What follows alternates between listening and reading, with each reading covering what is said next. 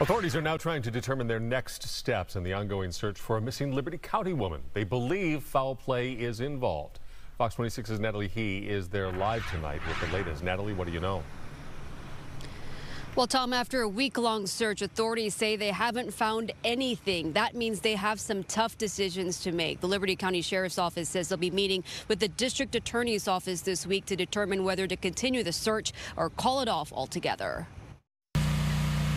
On day seven of the search for missing 57 year old Sheryl Ann Siddall, dive teams from Baytown Police, Harris County Sheriffs, Texas Game Wardens, Crosby Fire, and Liberty County Sheriff's Office zeroed in on a portion of Horseshoe Lake using sonar technology.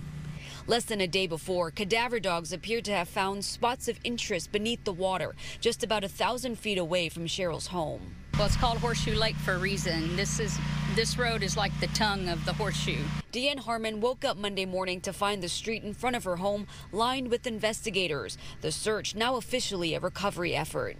Everything that's um, ever been animals that's died, like uh, turtles or um, alligators or anything, it always winds up down here on the end because it flows just around just like a horseshoe.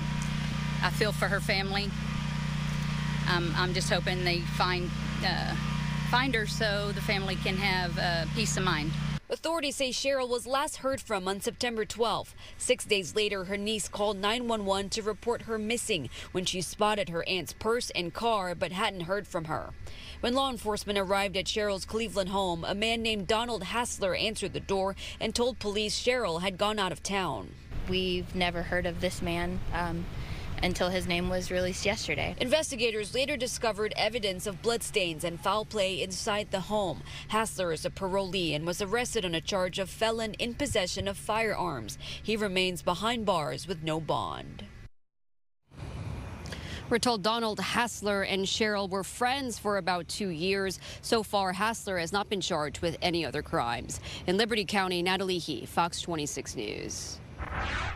Natalie, thank you. Well, the